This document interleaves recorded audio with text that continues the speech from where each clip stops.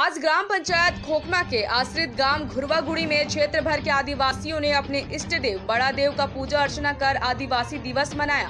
सबसे पहले आदिवासी समाज के लोगों ने शुभा बाइक रैली निकाल कर पूरा क्षेत्र का भ्रमण किया। जिसके बाद समाज द्वारा रखे गए कार्यक्रम में बड़ी संख्या आदिवासी समाज के लोग पारस्परिक पोशाक पहनकर पहुँचे। कार्यक्रम के मुख्य अतिथि विद्रान वागड़ विधायक डमरूधर पुजारी ने पूरे देश के स्वजाति भाइयों को आदिवासी दिवस की बधाई दी।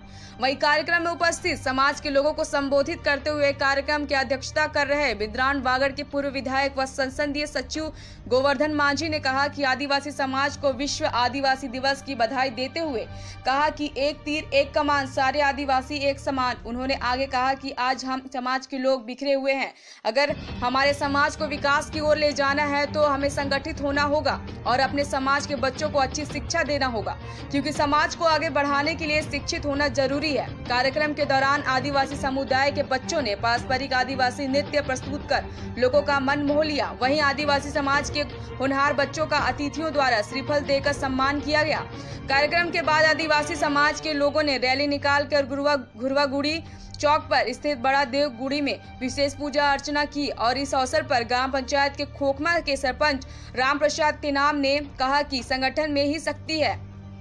हमें संगठित होकर रहना चाहिए। उन्होंने कार्यक्रम में अपनी कीमती समय देकर पहुँचे अतिथियों और ग्रामीणों का आभार व्यक्त किया है।